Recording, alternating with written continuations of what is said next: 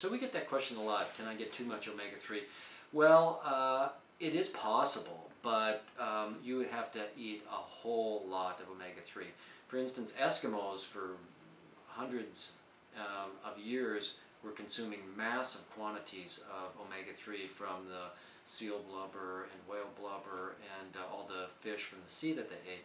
Most of their diet was in fact sea mammals and, and sea, seafood and fish.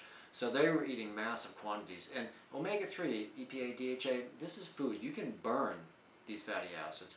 So it's uh, the, the short answer is for the average American, um, you would have to take a whole lot of omega-3 to get too much. Um, some people do notice that if they take more than about uh, six or seven grams per day of EPA and DHA, it can make their skin kind of oily. Uh, it can also slightly increase risk of bleeding when you get at very high doses. Um, so, like most things in life and in diet and in exercises, moderation is best.